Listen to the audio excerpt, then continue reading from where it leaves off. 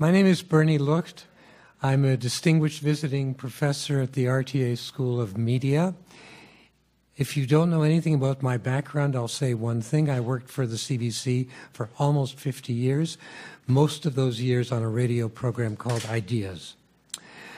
Uh, welcome to this panel.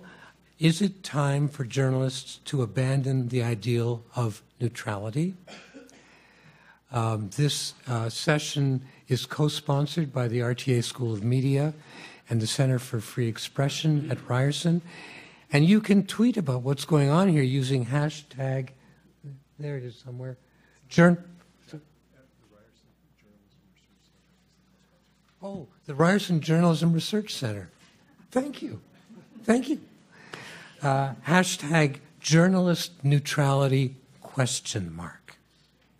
So let's get into it. Traditionally, journalists have been expected to be neutral, nonpartisan, and dispassionate in relation to the stories they cover. But is this possible?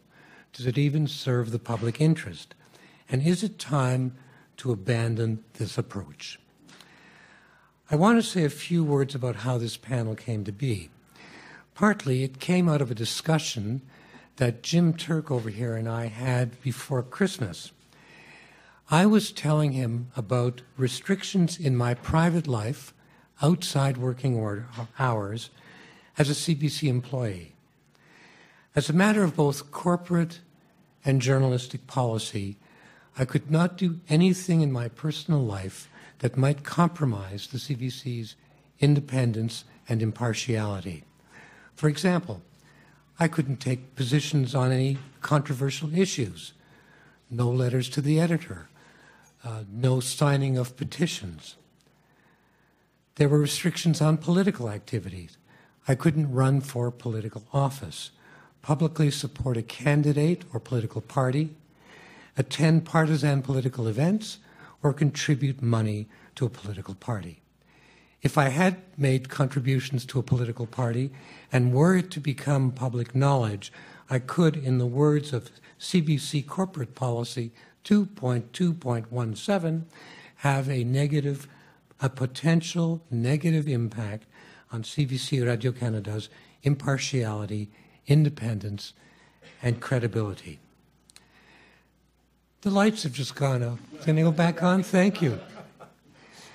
Um, these restrictions, among others, are limitations on the Charter right to freedom of expression, but they were also limitations that I happily accepted to protect my personal credibility as a journalist, the credibility and reputation of my employer, and my desire to keep doing work at the CBC that I loved.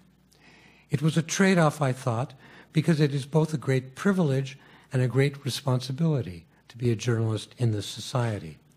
Besides, my astrological sign is Libra. The symbol of Libra is the scales. Libras like to be on an even keel. keel.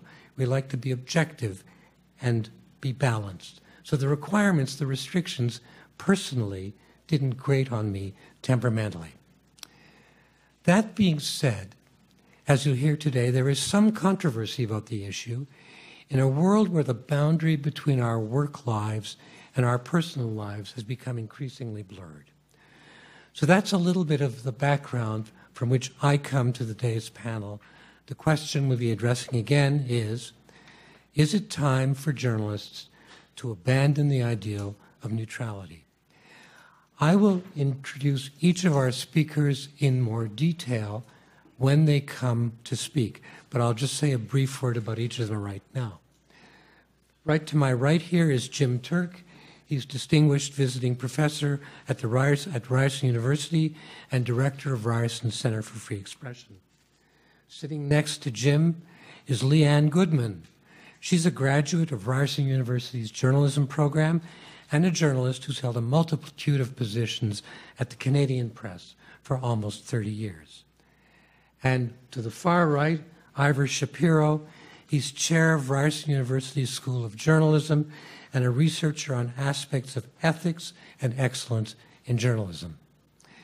Each panelist will have up to 10 minutes to make an opening statement. Then we'll have a discussion and we'll blend that into questions from the audience. We'll take about 90 minutes for the whole thing, depending on how it goes. So now we come to the question Is it time for journalists to abandon the ideal of neutrality? And we'll start with Jim Turk. Jim Turk is Distinguished Visiting Professor at Ryerson University, and as I said, Director of Ryerson's Center for Free Expression.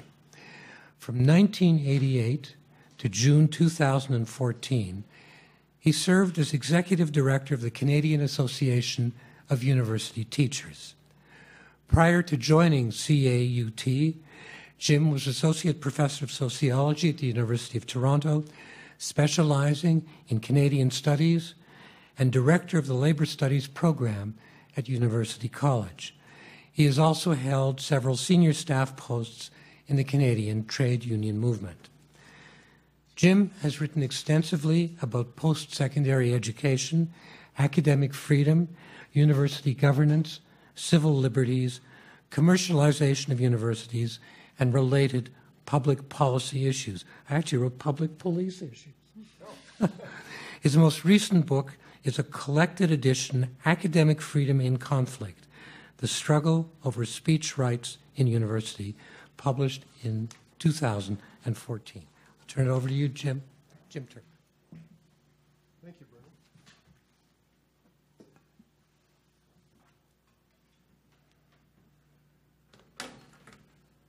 Don't start the clock for one minute, Bernie.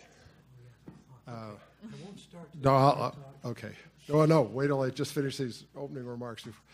Bernie is a very self-effacing fellow. He described himself as having worked at the CBC for 50 years and um, much of that uh, with uh, CBC's ideas.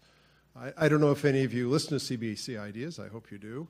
Uh, he was the executive producer of that program for 28 years and has one of the most distinguished careers in the CBC, and it's really an honor to have him with us today.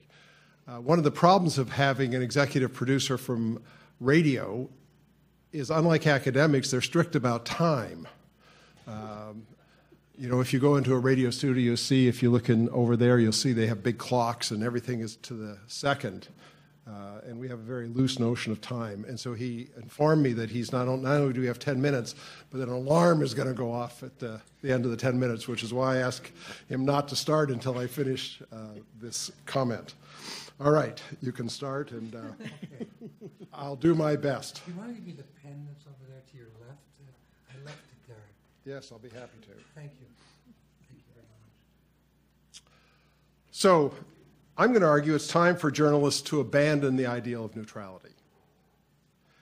Um, I came to uh, have an interest in this subject uh, as a result of some events last, uh, uh, last fall. Uh, one of them was this headline uh, about CNN uh, suspending a very senior reporter for a tweet that was critical of what the U.S. uh, House of Representatives had just passed. Uh, the journalist is, as I say, quite a uh, well known uh, journalist in the United States. She's CNN's global affairs correspondent. Uh, she's been covering stories for CNN since 2000, and before that, she worked for ABC News and Agence France Presse. Uh, she holds elected position in a number of journalist organizations, graduated from the University of Wisconsin and the New School for Social Research. Um, what upset her was actions that were taken on November 19th in the U.S. House of Representatives. Uh, this is uh, just a quick report on the story from uh, USA Today, saying that the House had passed a bill to halt the admission of Syrian refugees into the United States until they undergo a more stringent vetting process. And as they note correctly, the strictest ever required for people fleeing a war torn nation. The vetting process was so strict that arguably no one would qualify because it required that the head of the secretary, the cabinet member, head of Homeland Security, the director of the FBI, and the national intelligence director each had to personally certify that each Iraqi or Syrian refugee was safe to admit to the United States before they can be admitted. So she was troubled by that and issued this tweet House passes bill that could limit Syrian refugees. Statue of Liberty bows head in anguish. And you'll notice it was retweeted 5,227 times. I don't know how many of your tweets have been retweeted that often. I certainly haven't had that pleasure. And it was liked by 7,800 uh, 7,382 people.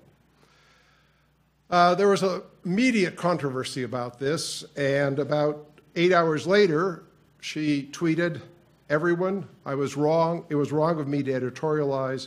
My tweet was inappropriate and disrespectful. I sincerely apologize.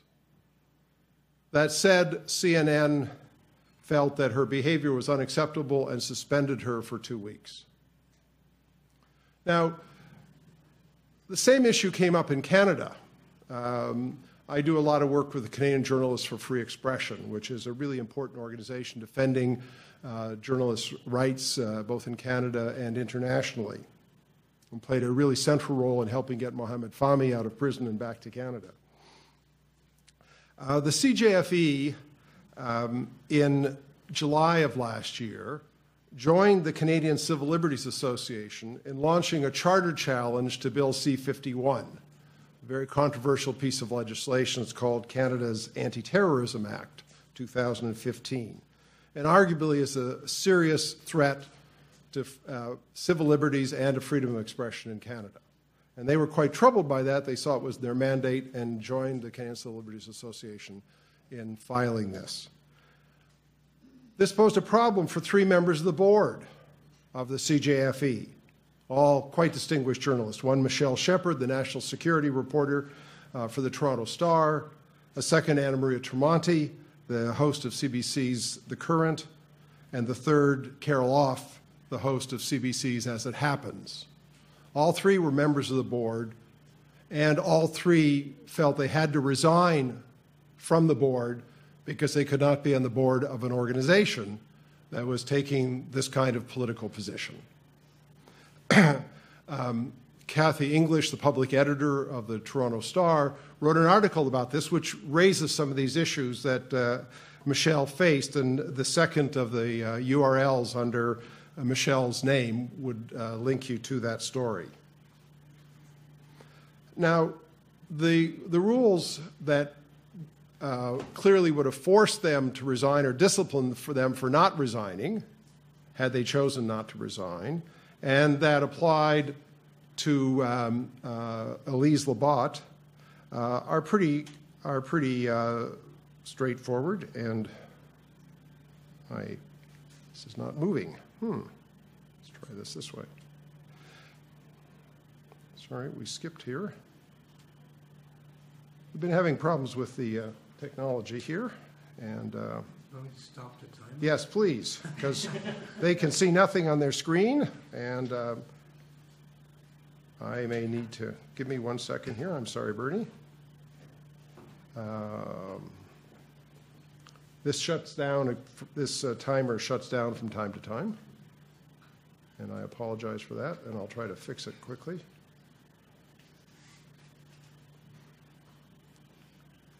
Okay, now let's go.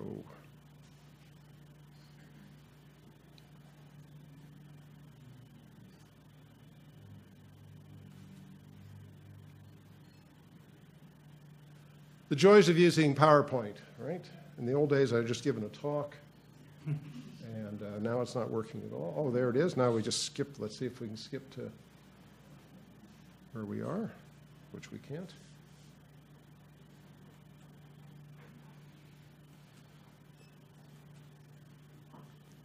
I really apologize, folks.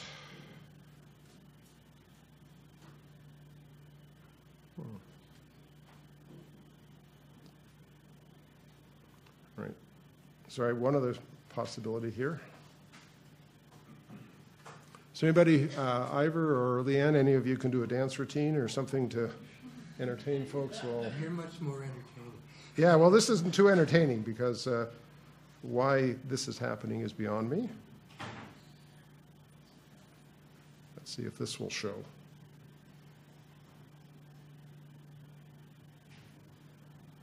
Are there any technology people in the room who can explain why it shows when I don't have it on? Now I have a message. We're sorry, something went wrong with the PowerPoint It's unstable. Please save your presentation and restart PowerPoint. Okay. Let's do that. I'm. Yeah, except they're not working. So I'm just going to close PowerPoint and reopen it and see if that does it. We'll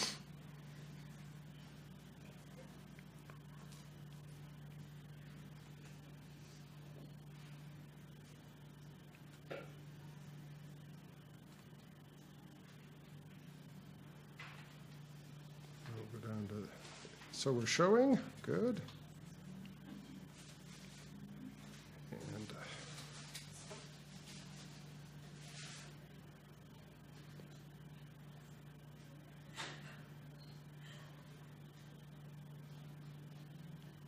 uh, All right. So the, I was about to describe, you can start the timer again. Did he do that just by looking at I think so. Look, in the old days, we would have called it an act of God. Now it's just a mystery of computers. The CNN policy, um, by which uh, uh, Elise was, was um, uh, suspended, was if you publicly declare your preference for issues or candidates or one side or the other of a public policy issue, public, on public policy issues CNN reports on, then your ability to be viewed as objective is compromised. And CNN is owned by Time Warner, which will become relevant at the end of my talk. The CBC policy is ever so much more complex, like everything else at CBC. I looked forever and went through policies and sub policies, so I just picked out three. Uh, this is their policy on conflict of interest. The expression of personal opinions on controversial subjects or politics can undermine the credibility of CBC journalism and erode the trust of our audience. Employees may not take a stand on public controversy if CBC's integrity would be compromised, acting at all times with integrity and in a manner that will bear the closest public scrutiny, an obligation that may not be fully satisfied by simply acting within the law, whatever that means. Um, now, I want to argue this approach is wrong. It fails to distinguish between an institution's business interests from the profession's public obligations. It confuses material conflict of interest with intellectual interests.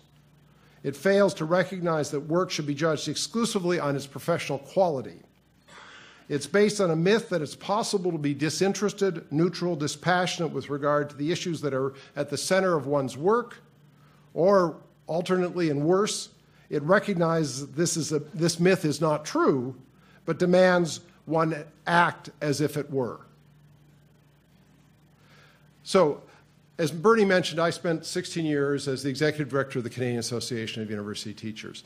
These issues applied in the, were big debates in the university. If you're a professor of political science or of economics or whatever, you have an obligation to present the material in, a, in an accurate and comprehensive and fair manner. Um, you know, like journalism, the university is accorded a special role and has public responsibilities. Like journalism, the academic world historically got these issues wrong. Unlike journalism, the university has changed its understanding. In fact, it changed it 100 years ago. The university's interests as a corporate entity are distinguished from the academic profession's obligations to the public with the latter to trump the former when they conflict. And interestingly, the Canadian Association of Journalists has a provision that journalists have an obligation if they're being put in an unprofessional position by their employer to uh, uphold the uh, traditions of the profession.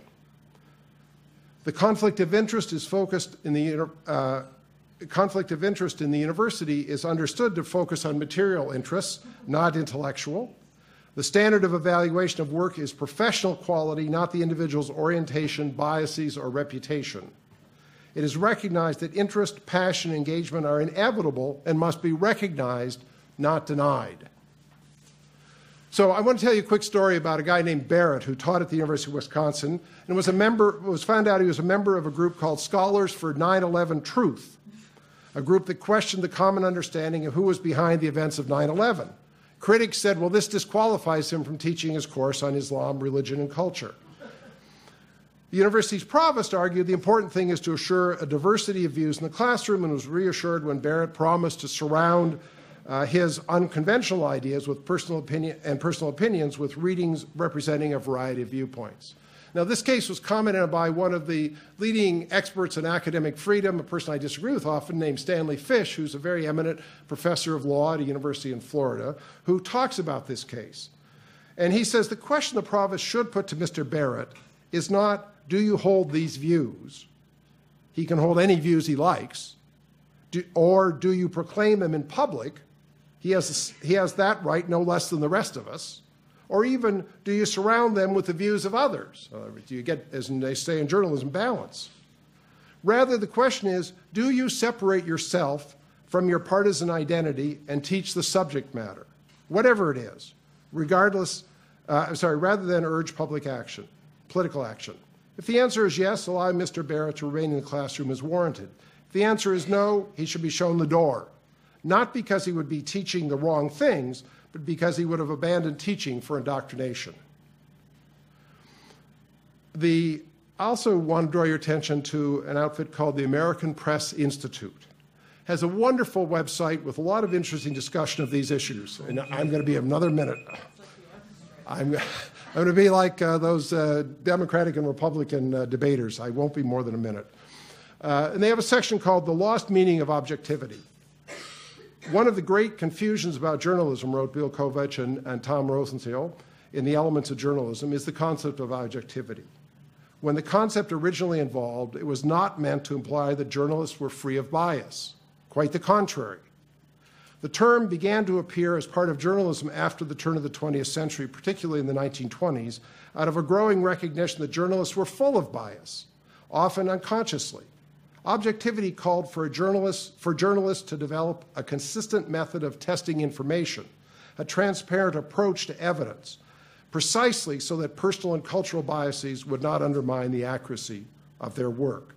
Or, as they say as an, in an aphorism to summarize this, the method is objective, not the journalist. And this is where the similarity to the university uh, is quite clear. In universities, we judge not whether professors have views, crazy or otherwise, which they do, and have a right to, and have a right to express them, but whether in the classroom they follow and in their research follow a, a, a method that assures accuracy uh, and uh, fairness. Uh, and going back in conclusion to Time Warner that owns CNN, it actually recognizes this, although it doesn't say it. And in this quote on journalistic integrity, where it ends, we expect our reporters, producers, and writers to be fair and honest and to confirm the facts before online articles or TV segments are released to the public. That's the issue. And that should be the only standard on which journalists, like academics, are judged. Thank you very much. And thank you for your kind uh, extension of my time. I'm going to have to give them two more Yes. Give them three, to be fair. Okay. Um, okay. Next speaker is Lee-Anne Goodman. Lee-Anne is a graduate of Ryerson University's journalism program, and she worked for Canadian. She works for Canadian Press, or has worked for Canadian Press for almost 30 years. She's been Queens Park correspondent, lifestyles and entertainment editor, and Ontario Bureau Chief. She spent more than five years in Washington, D.C. as CP's White House correspondent during the first years of Barack Obama's presidency. And from there, she went to Ottawa to become a head of the uh, Ottawa Bureau.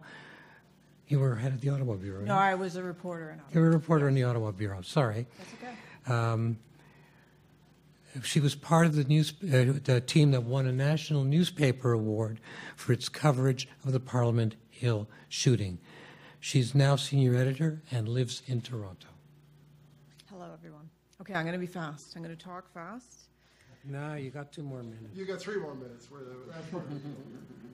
Uh, I, I'm interested in what you said because I think there's a distinction to be made between tweets and news stories. And I think, unfortunately, I actually believe that news organizations have gone too far. They're crazily concerned about tweets when they shouldn't be. Uh, just because you tweet out a, a tweet of dismay about Rob Ford or Donald Tr- Trump does not mean you can't write an unbiased news story about those people. So I wish media organizations would chill out on the Twitter paranoia. But having said that, my answer is no. I do not believe that we can, you know, abandon the notion of neutrality and objectivity. And I, I say this by stating outright that I, I believe it's a myth. Journalists are people like everybody else. We we we have biases. We have we have children, and a news story involving terrible abuse of young children uh, emerges, we're going to react in shock and horror like anyone else. We have our own personal biases. We go through life with our own experiences, and so of course we're not biased. But I do agree heartily, or sorry, unbiased. I agree absolutely that the method must be objective, and at CP that's something we really strive every day to uphold.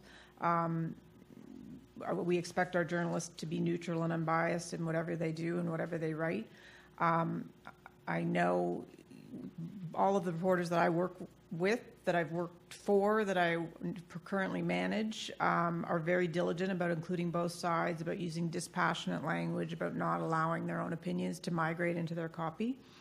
And I also find that social media has contributed to this a bit. We're such there's such a lynch mob now uh, that people will come after you and right away as soon as your story ends up on a website somewhere and accuse you of bias that I sometimes feel that the profession is going too far the other way, and it's leading to this this whole false equivalency thing, which which worries me more, to be honest, where we're we're um, we're committed so committed to the two sides notion of a story that it sometimes it's silly and i'd like to talk about that today and if you guys want to talk about it further afterwards but i can give you a couple of ex- examples from my own time covering the obama white house um, I was even once told by a Romney strategist that if you just keep repeating a story that isn't true often enough, people will start believing it.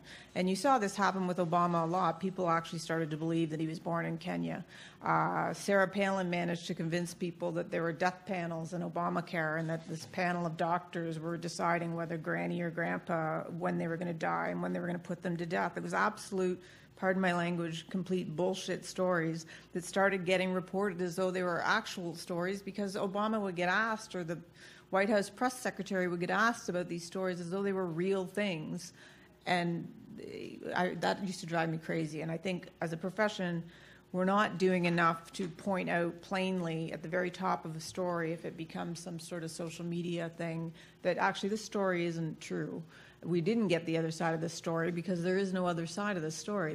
There's, there's a sometimes there's a he said she said tendency on every single story. You see it with climate change as well and creationism, where there actually is no other side of the story. And I, I wish I could see us state that more plainly in copy. That you know. Oh, and by the way. Uh, there are no death panels in Obamacare, never have been, never will be, and so this story is kind of bullshit. Um, pardon my language. I can't help but swear.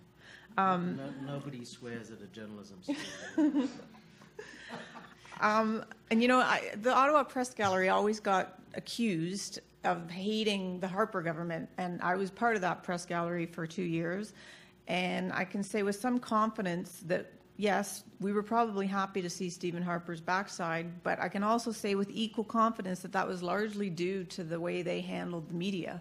It wasn't about ideology. The, that government made it really difficult to do your job. I, I covered, I was with Harper on various road trips, including one in China where we were given more access to the communist leaders of China on that trip than we were to Stephen Harper. Hmm.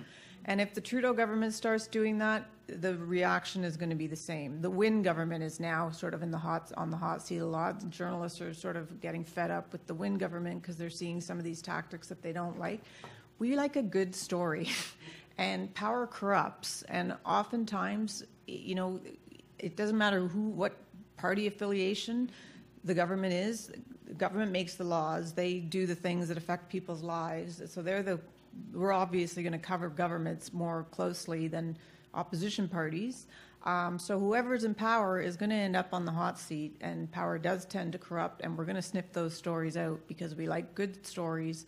Uh, we like human failures, and those are the stories that we cover, and it really has nothing to do with whether they're conservative, liberal, or NDP. I covered the Bob Rae government, which was rife with all sorts of scandals and controversy And yet, you know, I guess at that point, we were being accused of being an anti, a right-wing mob, where now we're being accused of being a left-wing mob. I, I personally have been called everything from an Obama, Obama hater and an Obama lover on the same story. So you can't win, and I think sometimes news organizations are too paranoid about the social media reaction, and we should just calm down a bit about it.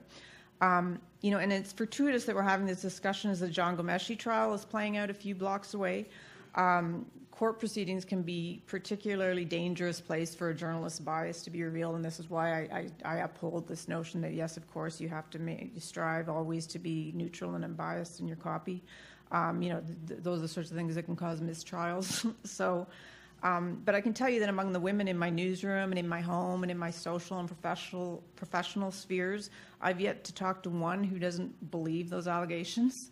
Um, they've resonated with women. Everybody knows somebody who's been in a certain situation in which they had to debate whether to come forward or not, and then have argued, have seen what's gone on at this trial, and thought to themselves, "Well, I guess that's not why I'll ever come forward."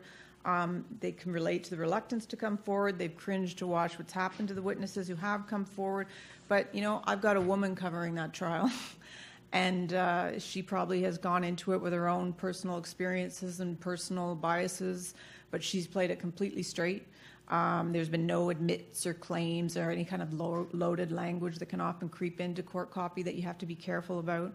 Um, she's been meticulous about including both sides. She's been very skilled at pointing out inconsistencies in both Ghomeshi's defense and the accuser's allegations.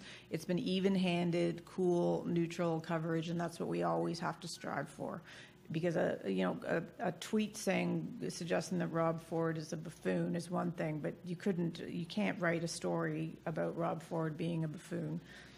Well, maybe you can now, but you know, in the midst of the whole thing coming apart, you can't. Uh, it doesn't. A, a, a snarky tweet has nothing to do with journalism, as far as I'm concerned. Um, and as an aside, I have trouble understanding how any news organization can have columnists re- reporting on trials like Ghomeshi, because columnists are paid to state their opinion and they're expected to come out with state their biases and opinions plainly. And as a reader, how can I read a screed against one witness under someone's headshot one day and then read that person's news reports on the trial and believe it to be objective? Like you, you, that columnist has staked her reputation on crapping on a witness or crapping on the crown or whatever it is, or stating perhaps what's an unpopular opinion. And so then I'm supposed to read the news coverage as though it's not coming at it from a certain bias.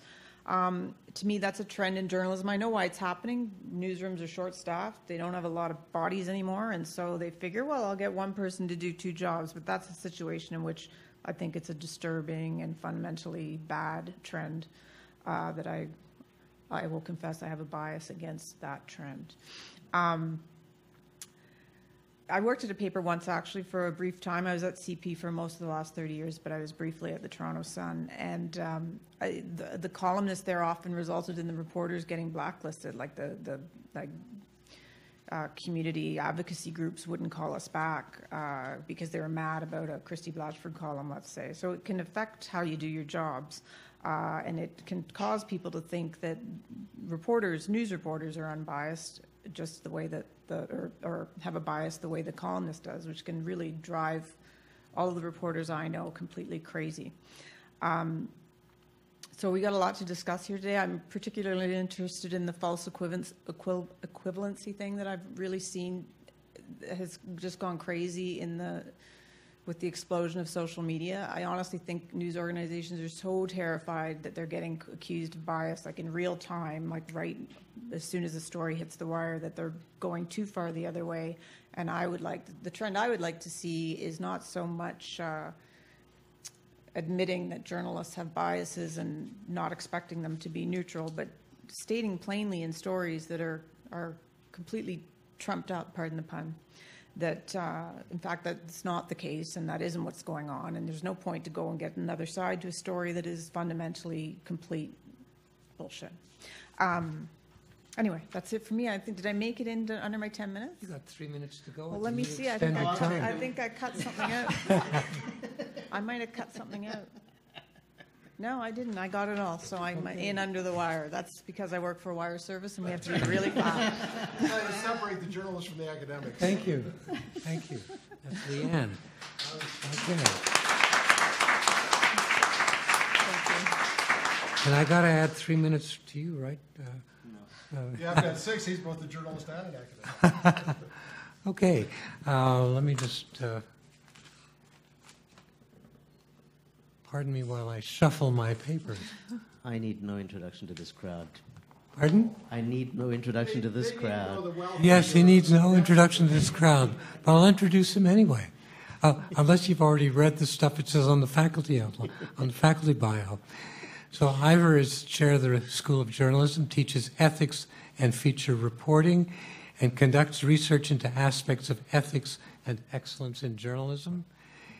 He chaired the Ethics Advisory Committee of the Canadian Association of Journalism Journalists until June 2015 and was the founding chair of the Canadian Journalism Project, a national website providing information, commentary, and resources related to the achievement of and challenges to journalistic ethics, journalistic excellence. Ivor was born and raised in South Africa and immigrated to Canada in 1985. He's a former contributing editor to Saturday Night Magazine, a former managing editor of Chatelaine. He's written feature articles for Toronto Life, Walrus, Maclean's, Today's Parent, and the Globe and Mail's Report on Business. He's been honored six times by the National Magazine Awards, and uh, his magazine writing has been chosen for a number of anthologies, and he's the editor of a book called The Bigger Picture Elements of Feature Writing, published in 2008. Ivor, I've said enough. Thank you. And I have my clock going here. I'm, it's an honor to me to sit with uh, sit on a panel with people like uh, Jim and Lee-Anne. It's an honor to see a alumna of this school being um, so smart and so successful as a journalist. Um, it's wonderful. Um, I think words are important, though, and I think words words have been used so far in this panel that I think bear a few moments to pause over. Um, not that one. I'm fine with that one. Um, the the um, the words objectivity, credibility, and indeed neutrality are difficult and, in fact, I think unhelpful words to use in, the, in, in terms of the matters we're speaking about. In fact, probably pretty much unhelpful, period. What these words have in common is a focus on the beholder, the appearance of objectivity, or the experience. Credibility means the experience of the person who gets something as to whether they believe it or not. Uh, neutrality, nobody, no human being is ever neutral about anything. So you cannot be neutral, you can only appear neutral. It seems to me that if we're, and you know, CNN uses these words, CBC uses these words, we use these words, I hear these words far too much from colleagues and students. It seems to me that if we get to, the, get to grips with the topic, we will not be talking about appearances, we will be talking about conduct. So let's try to do that. Um, let's start with some easy cases that seem relevant to what we're doing, what we're talking about here. Um, Leslie Roberts, anchor with Global News, obliged to resign after admitting he was secretly part owner of a public relations firm that arranged for clients to appear on the program he hosted. Like, ouch. CBC reviews the relationships between former business correspondent Amanda Lang and major financial services companies after allegations surface of influencing, um, and the allegations are found to be unjustified. She later moved to Bloomberg News, but no one's likely to suggest that allegations like that needed to be reviewed. Of course they did. Easy case. And lots of other easy examples might be adduced that seem to go in this sort of general area of what might carelessly be called neutrality. But let's move on to harder cases. A journalist stands for political office or helps out in an election campaign. That's any citizen's democratic right. But can a journalist do it? A Middle East correspondent who lives in Jerusalem and is an Israeli citizen has a son who is, sorry, whose family includes Canadian uh, uh, Israeli citizens, has a son who is conscripted into the Israeli army. A sports reporter falls in love with a professional athlete in a team that he or she covers daily. Or, yes, a CBC current affairs host is actively involved in a non-profit organization that is suing the federal government. Those are harder cases. Well, how about this one? Here's the Toronto Star's business section, uh, January the 30th. As long as it continues to live, Postmedia is a blight to readers. Not just one page, not one page, yes, cancer uses the word. Postmedia is worth more dead than alive. Godfrey calls weak loonie noose around your neck, uncertainty for community journalism, and so on. Three pages devoted to community, to, to Postmedia, basically. Um, uh, five years, no one can credibly argue that Postmedia has been of net benefit to Canada. Um, you know, uh, y- yeah. What could the agenda be there? Um, for what it's worth, it's not relevant here, but for what it's worth, I happen to agree with almost all of those statements. That's not the point. The point is that this is a th- triple spread in a business section of the flagship newspaper flagship property of a media company that, one, competes directly with Postmedia, two, bid for the very newspaper properties uh, whose price is now arguably driven down by articles like this, and three, could profit by influencing public opinion and therefore the federal government in its consideration of Postmedia's application to allow more foreign ownership, which is what led to the story. Is this neutrality? Of course, it's not neutrality.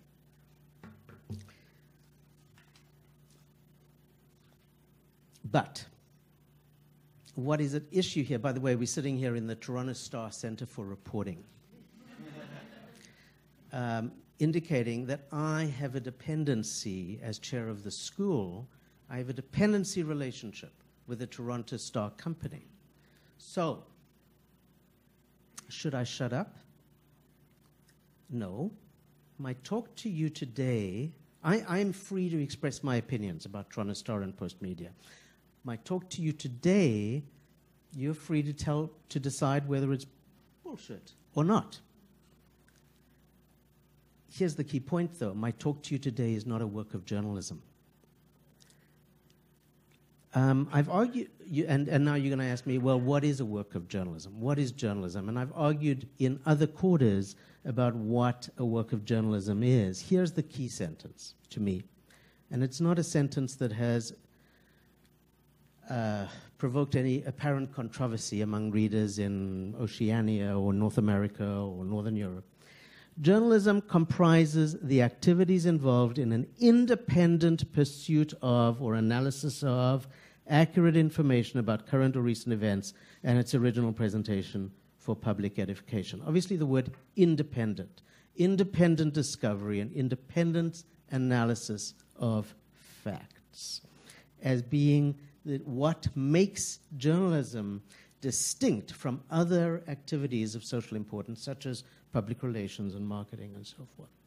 The problem with an attitude of dependency, sorry, a position of dependency, which is the opposite to independence, is that it prevents you from, it, dependency prevents you from trusting in the selection of facts and the selection of sources that underlies your work, which is fine for me, but it's not fine for journalists. Um, because journalism is that definitive thing of independence. So, does that mean, of what that does not mean, and this is my first key point, what that does not mean is that I shouldn't express my opinion. It doesn't, if I'm a journalist now, working in journalism, it doesn't mean I shouldn't express my opinion because opinions are not what compromise my independence. What compromise my independence is a relational state, not a mental state. I am dependent on Toronto Star. Guess what? David Olive is dependent on the Toronto Star Corporation. He is. He works for them, right? So he cannot be an independent analyst or commentator on Postmedia. Just can't be. That's the problem. But he can express his opinions, but he cannot be independent. Uh, but, but he must be independent. So, my first point is somewhat agreeing with Jim. To be a journalist by no means requires one to give up one's right to express oneself, whether in politics or petitions or any of those other things. But independence in journalism merely requires one to give, one, give up one's relational attachments to the things one is covering. So, do I just agree with Jim and stop talking? No. Because once one talks about those big questions that began our conversation, the CBC requiring people to suspend themselves from, uh, from being part of an organization that is suing the federal government, or CNN requiring, sorry, once one, yes, CNN requiring its reporter not to express herself on the uh, position taken by Congress, which she covers. What that brings us to is not the rights and freedoms of the journalists to express their opinions. It brings us into another arena, which is the rights and freedoms of the organizations they work for. It seems to me that if we work for a business, that organization, that business has a right to strive for business success, to make a brand claim and protect it and deliver it. So here's where I start agreeing a little bit more with Lee-Anne than Jim. If a business has the right to succeed by protecting its brand, then it has a right to expect its employees to help achieve its success by protecting its brand. Now, if you're a news organization, your brand depends on that independence and that perception, and this is where those appearances actually begin to be relevant. Because appearance, a brand is all about appearances. So a, jour- a, journalistic organization doesn't merely have the right to expect, in my opinion, a journalist to be independent in that sense of divesting oneself of interest. It has the right to expect its employees, including journalists, to behave in such a manner that protects the appearance of credibility. Seems to me this is simple wisdom at work. Do I have one more minute? Yes, you do. Excellent. This is simple wisdom at work. It's not ethics at all, you see. If I'm a beat reporter, let's say I work for myself and I'm a beat reporter, I'm running a website covering crime in Toronto. It's not why I am free, I work for myself, I'm free to express my opinion that every cop in Toronto is a racist meathead, or that every victim in Toronto of crime is a whiner and malingerer. If that's my opinion, I'm free to express it. In fact, it's helpful if I express it to you as my reader. Is it wise for me to express that opinion? Not really, because guess what? The cops are going to stop talking to me, and the victims are going to stop talking to me, and my website's going to go out of business. It's not wise, not wrong, but it's also not wise. Seems to me that if that is true for me, if it is unwise, if it is wise for me to watch my mouth, then it is also true for a news organization to watch its mouth. But a news organization's mouth consists of the sum of the mouths of its journalists. And therefore, it seems to me legitimate CNN or CBC should watch its mouth, watch the mouths of its employees. It's simply wise, and they have a right to be wise. That's my thought. Thank you. Thank you.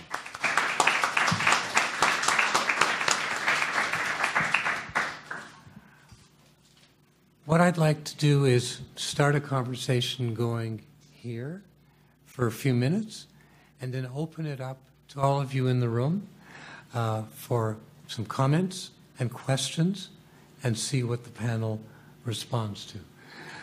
So I think what I'd like to do, Jim, is start with you, particularly responding to Ivor's point about the rights and freedoms of organizations. One of the things that struck me in this discussion is that there are many things we agree on. but I think there's some slippery uh, use of words that makes it appear as if we agree when we don't, or makes it appear as if we disagree when we do, also don't. Um, I was troubled when Bernie began this talk by saying, as an employee of the CBC for 50 years, he couldn't write a letter to the editor.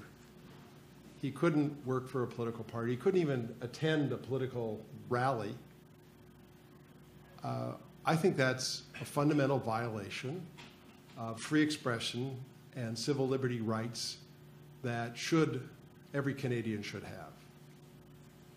Um, and I have, I think the slippery part in the last in in Ivor's comment was drawing the analogy between him as a journalist who has his own blog or his own whatever, and how it would not be prudent, although he has a right, it would not be prudent for him if he's covering crime to demean the police or demean victims.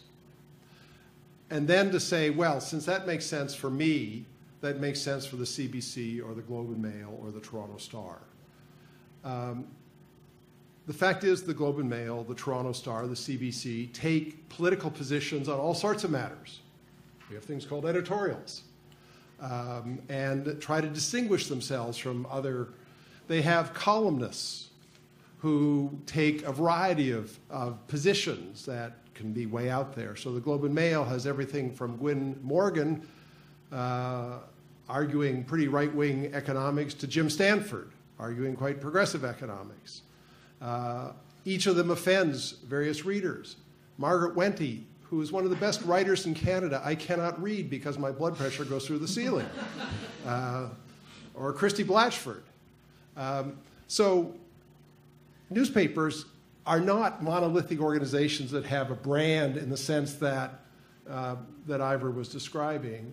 They, in fact, have a variety, they, they in, in Ivor's description, uh, they anger various parts of their readership all the time. And I'm sure that there are people, advertisers and others, who ask the Toronto Star why they have a column by Rick Salutin. Or I'd ask the Globe why they keep putting on Gwyn Morgan. In other words, I don't think the analogy is the same.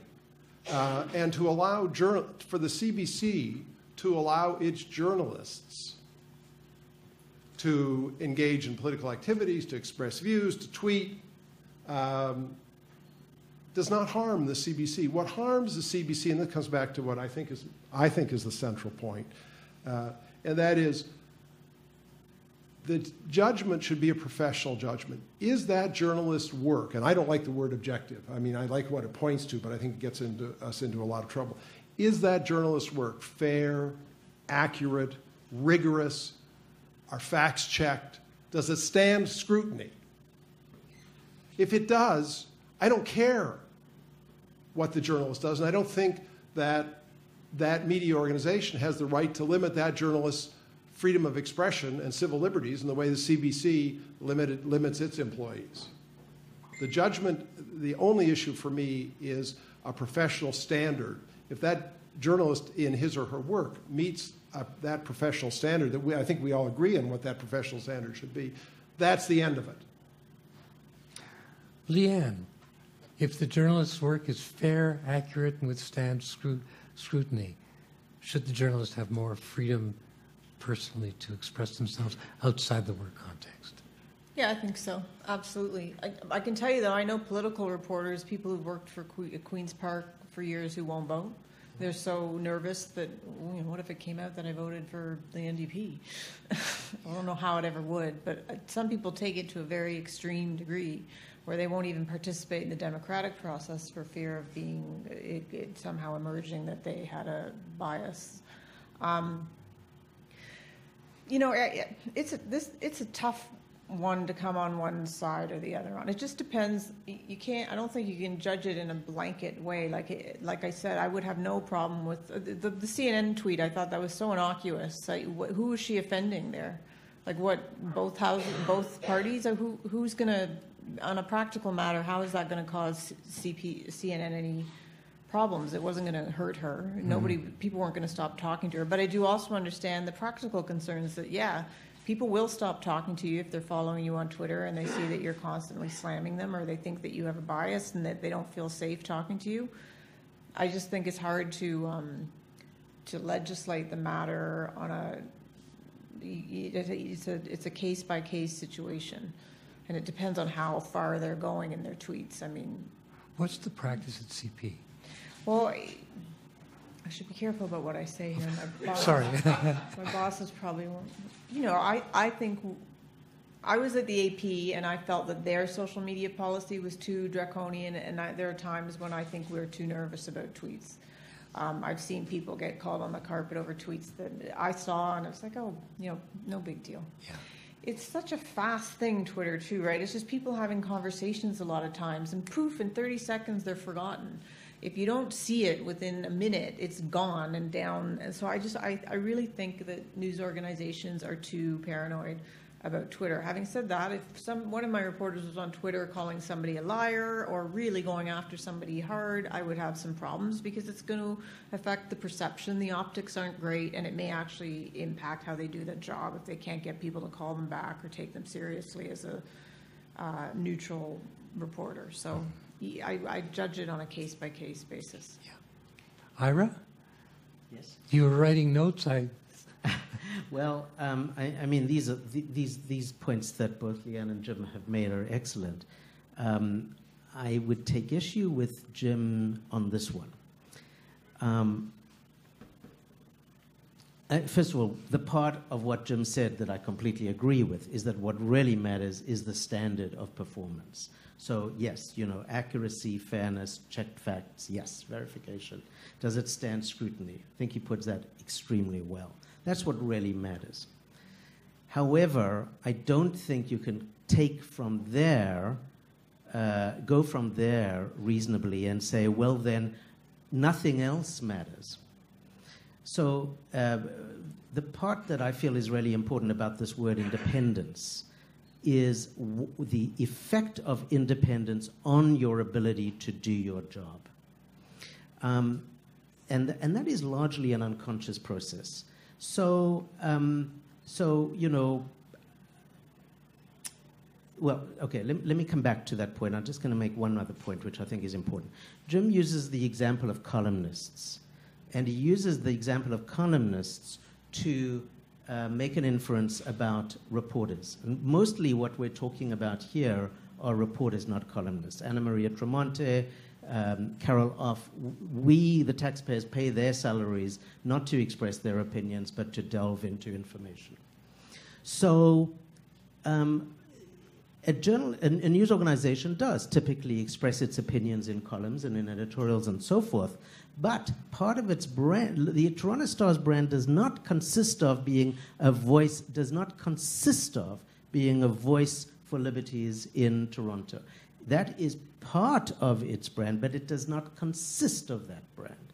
What ultimately it says is you can come here and you can get fair and accurate and independent reports. Jim's logic, it seems to me, would would go here. It would say it doesn't matter if your reporters on the stock market have uh, have shares in IBM or Apple and might might give might be unconsciously inclined to kind of boost IBM and show and and and dis Apple because that's they have a lot of money at stake in that. The example I gave of the Middle East reporter at the at the New York Times, uh, Ethan Bronner, his son in the Israeli army, he's the New York's New York Times' Middle East bureau chief. His son's life depends on the security of Israel, right? Is there anything more likely to influence one's subconscious choices than the life of one's son? So I don't know that that's the point in dispute here. We would all probably, I suspect most of us would agree. No, you can't have shares in the companies that you cover. You shouldn't have an interest, a relational interest in the matters you cover. Point being for me is that Toronto Star's brand, the CBC's brand, CNN's brand, is that its reporters are independent. That's an appearance matter. And that's where I go back to what I said before. You have a right to protect that brand. Okay, I see Jim wanting to get in here. Wow, I'm so surprised. As always, uh, Ivor is very articulate. Um, but in fact misrepresented uh, my position because I agree with him completely. I drew a distinction uh, using the term material interests versus intellectual interests. That is, if you're a shareholder in a company that you're covering, that's different than if you have no shares, no relation, no dependency, but you think it's a terrible company, and you've said that. Those are very different things. And Ivor actually put it far more articulately than I did in his opening remarks, distinguishing between a relational dependency and a mental state. So I think we're in agreement that any kind of material, material dependency uh, is a conflict of interest. Uh, so if one receives large amounts of money speaking to the oil industry or to uh, other groups, that can compromise, does compromise in the example. So we're in agreement on that. Where we're maybe in disagreement is if you have no material dependency, but a point of view, and you articulate it, that, in my view, should not disqualify you to be a reporter. And I am talking about reporters, not columnists. When I was talking about columnists, I was using it as a way of saying Ivor's brand as a blogger on criminal matters is very different than the extremely complex brands of large media organizations that are all over the place when you add together their own editorial positions, the various columnists they have, and so forth. And so to pretend that, a, that journalists, by expressing their views, are going to compromise the brand of the organization when it's a large organization with many employees and taking many different views is, I think, a mistake. Okay.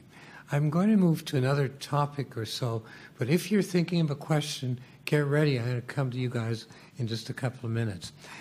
Um, I was uh, doing very superficial Google research the other night on trustworthiness in journalism. How are journalists perceived? Uh, Ipsos Reid, I think, does this annually. Their 2015 survey said in Canada, journalists are trusted by 18% of respondents. Journalism is put 24th on a list of 34 professions. Just trusted mar- marginally higher than journalists are financial advisors and plumbers. Trusted marginally less than journalists are television and radio personalities and lawyers. And below them are CEOs and local politicians.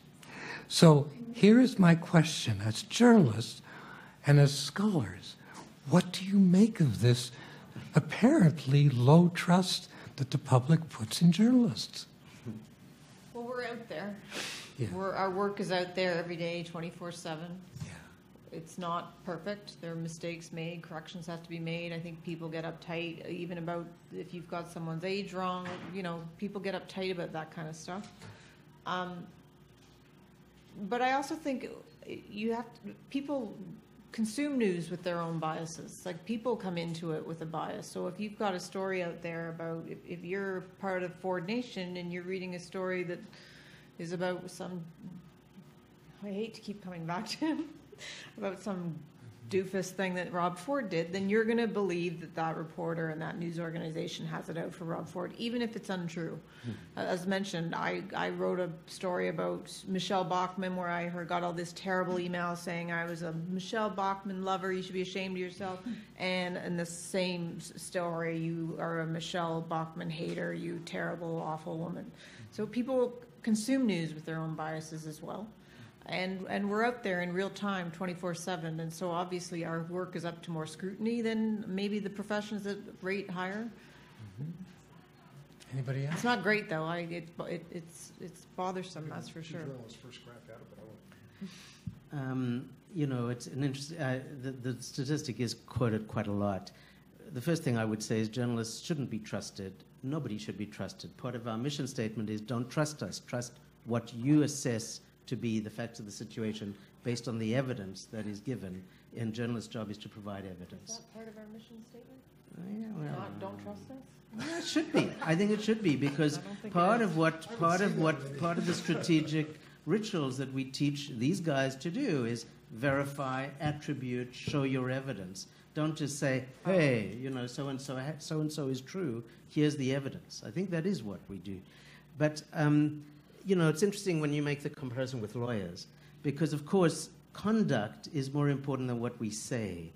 When, when people are in trouble or need a contract evaluated or, you know, or uh, have a have a messy situation where their wives, husbands, or spouses, they go to lawyers. They may not trust the lawyers, but they pay them very good money to defend their interests, which means that actually they do trust them because they're giving off money and they're ex- expecting a duty in exchange. I think the same is true for journalists. The true measure of journalists' trust would be are, are the works of journalists actually used and do they form part of the public discourse? And I think the answer is overwhelmingly yes. Yes.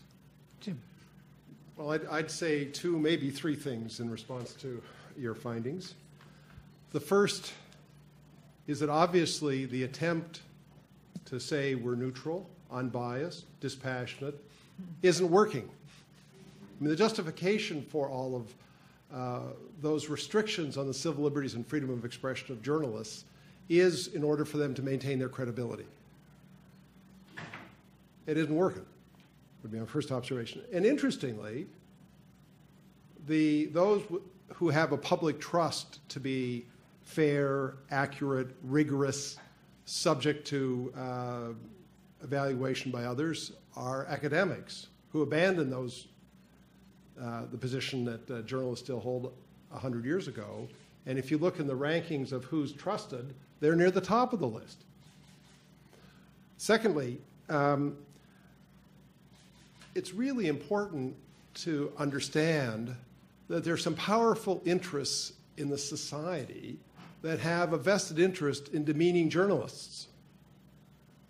Because after all, the role of a free press is to be critical, is to question conventional thinking, is to separate bullshit from accurate stuff. And so, as far as you do that, you inevitably are your, your reporting, your fair reporting, is challenging the rhetoric of a lot of powerful interests. And if you look at how arguably the best newspaper in the United States, the New York Times, is treated in any Republican candidate's debate as this liberal haven of, well, people to the left of Bernie Sanders, were it only true from my point of view, but it isn't. Um, if you look at, anyway, so part of, part of the uh, public's stature, uh, rating of, of journalists' uh, trustworthiness, I think, is also a result of concerted efforts by powerful interests to try to lessen the credibility of journalists, because journalists, by and large, and journalism by and large, does play a vital public role, which is why in the Canadian Charter of Rights and Freedoms, there are four basic freedoms in Article 2, and one of them is freedom of the press. It serves a vital public interest, and insofar as journalists can be demeaned, it undermines their uh, ability to fulfill that vital public role. Not to get us off the hook entirely, but I do recall the Pew Research Center doing a study on the average news consumer, like the most voracious news consumers, and they do tend to be people who are quite partisan. They're reading and they seek out their the news outlets that reflect their points of view. So you can see then if it's if the most voracious news readers or, or news consumers are people that are already coming at things with a bias. That's not to excuse us. That's an appallingly low trust rate. But I do know a lot of people who don't. Eh, do you know those people in your life? It's like, oh, I don't really follow the news. I don't really know. Oh, really? Is that happening? Oh, what's going on in Syria? Do you know those people? I think they are. That's a big. I, I think those, there's a big portion of the population who's like that too, and probably doesn't distrust us because they don't consume us enough to be paying it close enough attention. But anyway. Can we turn over to you guys? Yeah. Let's, why don't we start, please? Is there a microphone in the room that you want, does anybody want, or? Here, we can share one of these. You can take. Oh, yeah. Oh, Okay. So, so will you be the microphone wrangler or something like that? Okay, thanks, Ange. Ange will be the mic wrangler. Can, tell us who you are, please. Uh, hi, I'm April Lindgren. I'm a prof here in the School of Journalism. I'm sorry, gentlemen, I come fir- down firmly in Lee-Anne's camp on this. Um, I, I just think that we don't need to hand people clubs to hit us over the head with uh, in terms of our ability to do our jobs in, um, in a way that builds confidence in the quality of the information. If I go to a pro choice rally, for instance, as a journalist, I mean, I know I can go to that pro choice rally and still write a story the next day about maybe not that rally, but maybe a different one and that I can do it in a, in a way that is accurately portrays the, per, the perceptions of both sides. But uh, the public doesn't know that. And I think part of it has to do with media literacy. And you know, if they all were, if everybody in the public was absolutely capable of judging that this is a well-reported story, it's verified, it's accurate, um, and it's fair, that would that would be great. But we actually don't live in that world. And I think that um, uh, putting ourselves in those positions is handing the critics a club that undermine the credibility of, of, of, of well reported and decent work. And I would just also draw the comparison that, you know, this isn't, I don't think, particular to the uh, journalists and the news media. I mean, if you have a Toronto police officer who um, is a card carrying member of a white supremacist organization, you're gonna, there's gonna, you're gonna raise quest- questions about his ability to, uh, to uh, police in a, in a diverse community. Uh, similarly, if your doctor is the president of the Anti Vaxxer Association of Canada, you also might have some questions about the, the credibility of, of, of, that doctor. So I think um, we live in a world where appearance is very much perception, and not paying attention to that as journalists um, undermines our, uh, our, our ability to do our jobs, I would argue. Anybody want to take that up? I, I actually agree with everything April just said. So I don't, I, I don't know about the uh, I don't know about the apology you made, April. well, I actually disagree with about everything April just said. There you go. so we want to have a. Um, first of all, abandoning your rights to free expression and your basic rights under the charter in order to protect your appearance, as we just said, isn't working. That is, journalists aren't viewed all that respectably to begin with. Secondly, to draw an analogy to the police or to physicians is to make a totally inappropriate analogy. Police have, are able to exercise the power of the state against individuals. And so if you anger a police officer, you can pay a very heavy price. Journalists have no power of that sort. And therefore, that's one of the differences. Uh, and a physician is more like a police officer in the kinds of power they have over us than a journalist. So I think it's a totally false analogy that's misleading. It comes to the heart, the issue comes to the heart. Can journalists' rights to free expression and exercise their civil liberties, such as writing letters to the editor, participating in political, be justifiably restricted? And I say, as long as they've done their job properly, that their work meets professional standards, then they have, there is no right to limit their civil liberties. Yes. I, am Ann McNeely. I'm a prof here too, and um, April raised some social justice issues. I would wonder how you would respond to a social justice issue um, such as the civil rights movement in, say, the '60s, where clearly you wouldn't.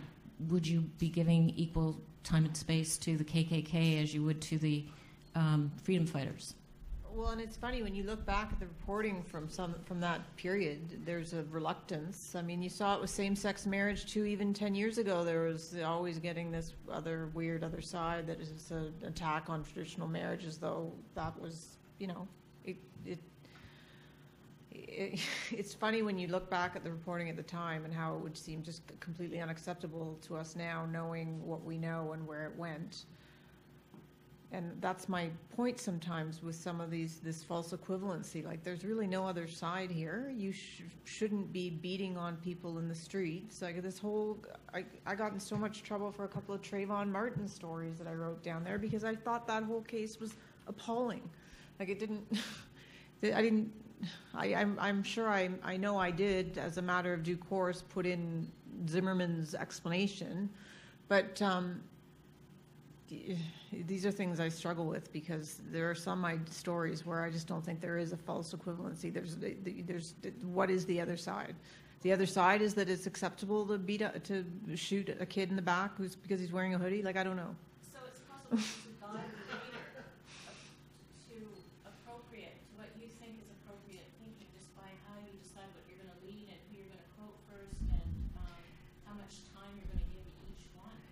And that is also where a bias can come in. It can be, it can come into, well, who are you choosing to speak to? Like, you can tell me that you've presented me with a story that has both sides, you know, all the, that you've connected all the dots, you've talked to all the people that you've, you couldn't find an opposing voice, maybe. And I, I will go back at a reporter sometimes and say, look, surely there's somebody who's going to defend, uh, you know, we're working on a story today about how badly the Crown has screwed up the Ghomeshi case. And I will have to say to the reporter, you've got to find somebody who will defend the Crown in this instance. Like, they were, their hands were tied in a lot of things. They couldn't call expert witnesses because, eh, for all sorts of complex reasons. They couldn't go after the other charge, like the other allegations, because the women wouldn't come forward. So, anyway, I don't, I went, I didn't even answer the question, I'm sorry. I just went off on a rambling tangent. Jim? One of the, one of the uh, uh, parts that I agree with Lee-Anne in her opening comment was talking about false equivalency. Um, We had a lot of experience in my academic role where they say, well, professors have to, when they're covering a course, have to uh, be balanced and cover all perspectives. I mean, first of all, it's impossible. Secondly, does that mean if you're teaching a course in uh, uh, 20th century European history, you have to find a Nazi to come in Right. and talk in your class? Um, and I mean, if there were one word I would, I think is well-intentioned but really troublesome that I would wish would get out of the journalist uh, uh, lexicon altogether is balance.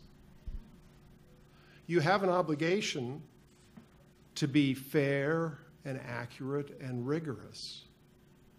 There is no such thing as balance because that's what leads to this false equivalency. So you're covering climate change. You have to root out one of the handful of uh, totally discredited climate change deniers every time you quote uh, a major uh, finding or a group of scientists. Or to say that, and some argue that it's all about creationism and that God has created the warming climate. Like, you can't put that in a story. I mean, there's people who But you get still think expected to. Yeah, there's people who still think the moon's made of green cheese. So when you're writing about the Hubble telescope and some pictures, do you have to find a green cheeser to, to quote so you're balanced? Um, so I, I think you get into really difficult problems when that's, it's, does your story stand up to scrutiny as a fair and um, uh, balanced, not balanced, but rigorous? That's the term. Gentleman at the back of the room. Hi, I'm Paul Knox. I'm recently retired from this place, um, but um, not capable of uh, being gotten rid of. Um, Thank goodness. I wanted to ask about disclosure. Um, you mentioned a couple of uh, um, a couple of types of stories. Ivor mentioned uh, people writing about stock uh, companies in whose uh, in which they own stock. Um, uh, I would argue that we've seen like a bit of a change, at least in some of our uh, Canadian newspapers. I know that when I used to work at the Globe and Mail, it was pretty much forbidden to own individual stocks if you worked uh, in the report on business. Uh, I think they let you own mutual funds. Um, but now you see people not only write about stocks, but disclose in the story that they actually hold, own, own those stocks. Whereas I was speaking with somebody who works for the Wall Street Journal uh, the other day who said that they actually go on an annual uh, refresher course about um, that kind of thing, and um, they are they are strictly circumscribed in terms of uh, what they can do if they're uh, writing about things that are anywhere near it. Similarly, uh, we never used to see disclosure in travel stories um, that the person um, was, uh, I think the phrase that's usually used is a guest of whoever they were writing about. Um, however, the place didn't approve the story. Nevertheless, uh, funnily enough, very few, if any, of the stories seem to be negative. So, what I'm wondering is uh, whether you folks feel that not only in those types of stories, but also in uh, more um, in the news section, um, disclosure has any role at all. In other words, if you could say, well, uh, you know, I'm doing my best here, guys, but I have to tell you, I am the uh, president of the local Planned Parenthood Federation. I am Um, uh, you know, I, I, I, I donated to the Liberal Party last uh, last year, and that kind of thing. Um, you know, and if not, why not? Because there would seem to be a logic there. Um, if you if it works in one kind of story, maybe it works in another. I know our organization, we won't accept travel pieces that resulted from junkets. Um, I have a feeling some slip through sometimes, though. Or are you hiring? You're getting it from a freelancer, and I don't know. I've suspected that some slip through, but I agree there should be disclosure. And I personally would.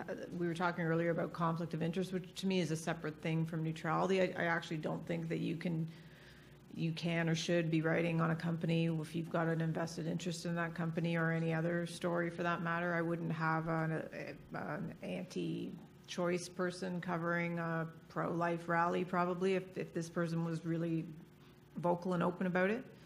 Um, you're just inviting trouble if you do that. Um, as for disclosure, I don't. I'm. I'm not sure we've ever needed to, but I do see it. You do see it, especially with the advent of online journalism. You're seeing a lot more. You'll see a little disclaimer at the end, usually on columns, saying, you know, this person. I, I saw one on a, a Rebecca Eckler column of some type, where at the bottom of the story, not at first, but I guess something got brought to their attention, where at the end of it, there was a little note saying, oh, by the way, the person quoted in this story is Rebecca Eckler's, you know spa massage lady, which I don't think was getting disclosed from the outset, but when it came to the attention of the editors, they were quick to put up a disclaimer. You do see that sometimes, but you don't often see it in the actual print edition of a newspaper. I will grant you that. And maybe you should. Um, well, I, I, I think disclosure, transparency is a remedy for um, conflict of interest. Uh, it is uh, it, it, transparency combined with relational disattachment would settle all the ethical issues uh, for, for not just me, but I think many people.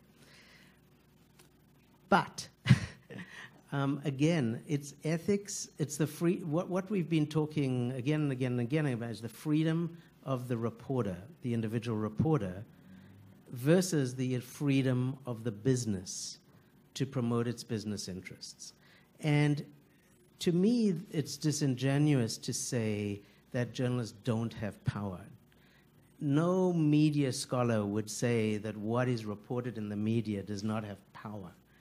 Everything about elections, everything about whether we go to war or don't go to war is based on somebody getting an idea somewhere. And if some media organizations, not all do, not all do, let's look, can I spell Fox? Not all media organizations have it as part of their brand that they're actually going to be, be providers of independent information.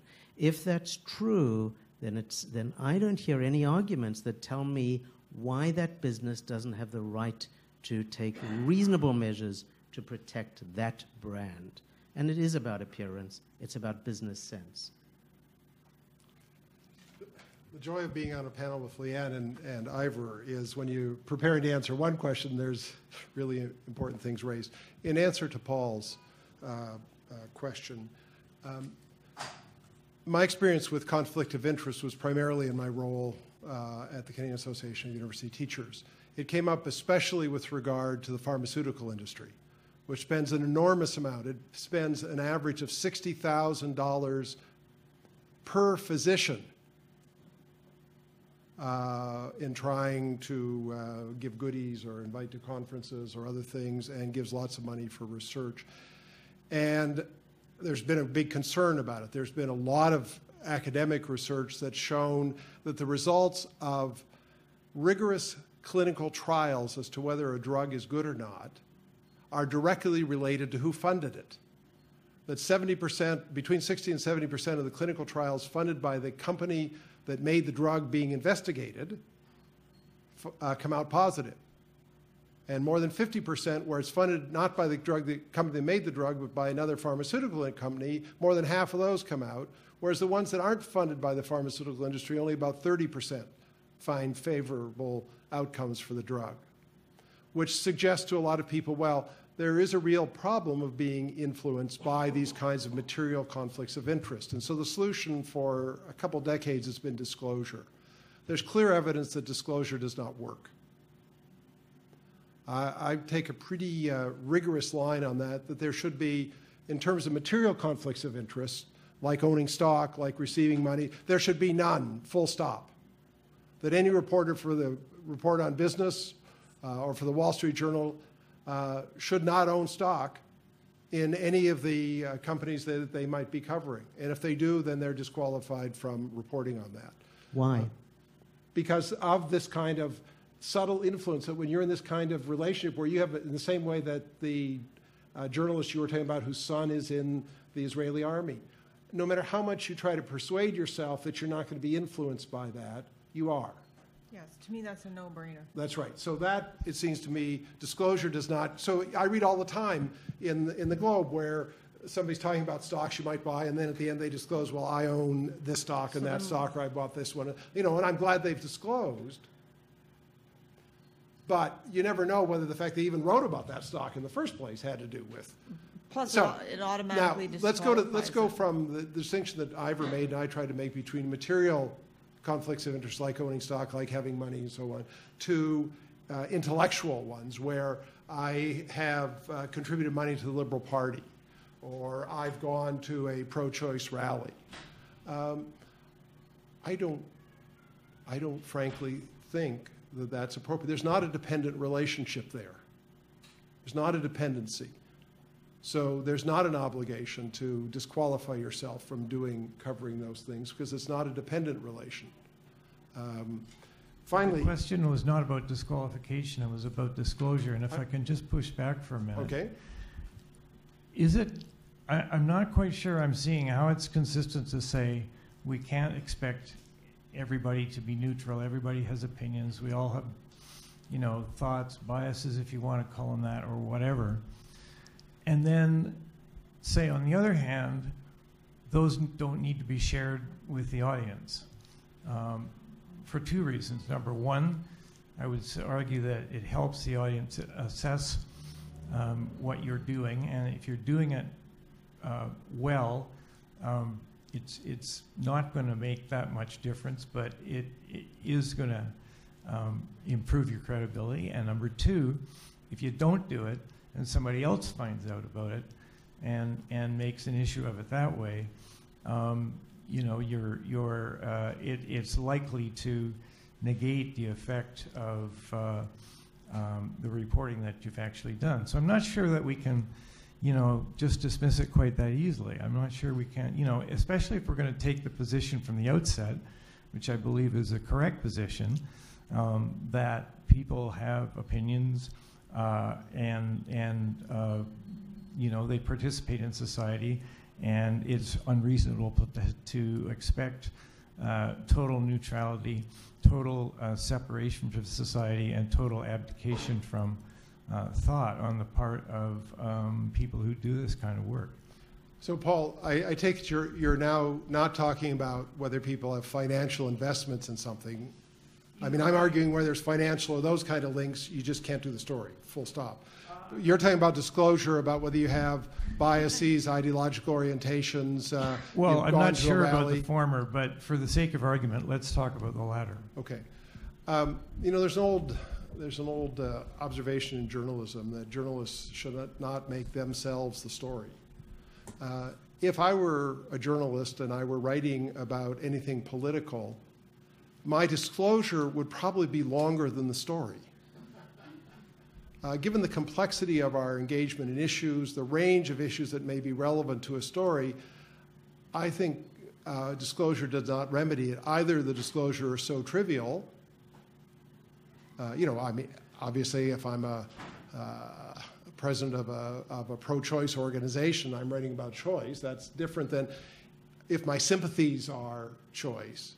I mean, I have sympathies for a lot of things, and in any political story, disclosing that in a fulsome sense means writing a bit of a memoir, an autobiography that would have to accompany the story. I don't think that's the solution.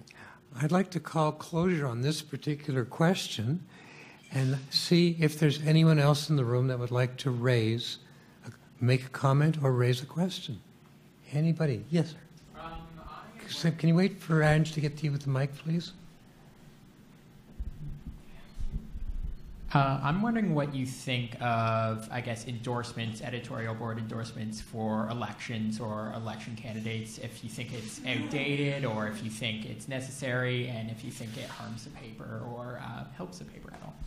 I hate them, and I wish we'd stop. It's just the, that Globe editorial where, well, you should support the party, but not the guy. Like, I, what, that was just laid bare how utterly stupid they are now. It made it made sense a hundred years ago when the publisher was a big, you know, wheeler and dealer in the community. I guess it made sense then. I'm trying to maybe I don't know. You guys tell me. I don't. I hate them. I think it's. I think it's an antiquated, backwards way of doing things. It impacts the journalists who are trying to actually do good journalism. They get branded with being, you know, go, you're with that right wing rag, or you're that Harper loving rag. Oh, you Trudeau. You know what I mean? It, I, I can't stand them, and I wish it would stop. I don't see what value they have. I don't think they attract new readers. I think it's an old ego tripping kind of thing. It's a bit of an ego trip thing where, you know, whoever it is, Philip Crawley or John Honderich, really think that people are hanging on their seat to hear who they're going to endorse when it's not really very surprising. And I Rarely surprising. I guess, oh, really? Uh, The, the star endorsed Trudeau. What a shock. But it, anyway, I hate them and I wish they'd stop. That's my. Anybody else want to address this on the panel? I'm good with that. Good with that? Other questions in the room? Anybody else? Okay, we're going to start to wrap it up.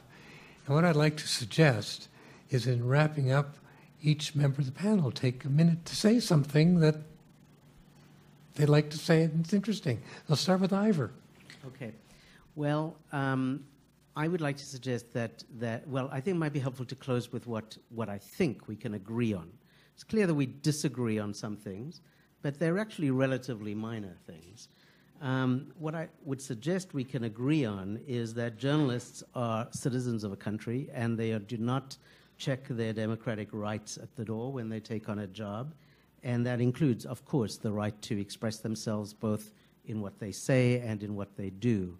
Um, the second is that um, the key thing about journalistic discipline is the method, not the uh, opinion that is expressed. In other words, uh, the, the method of looking for evidence and conveying evidence is far more important than the insight or the opinion or the intellectual sort of slant that the journalist brings. I think we probably could all agree on that.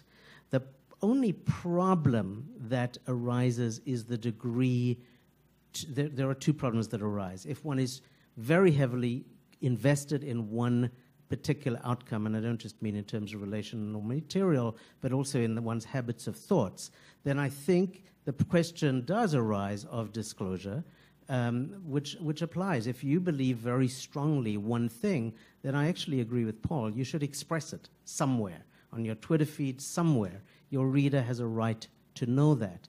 Why? Because of this very tricky thing, which is the unconscious effects of one's strongly held opinion. Readers have a right to know that you have those strong, strong opinions when you go about collecting and selecting evidence. Um, and that, and, and, you know, I'll leave it there. Okay. Lee-Anne.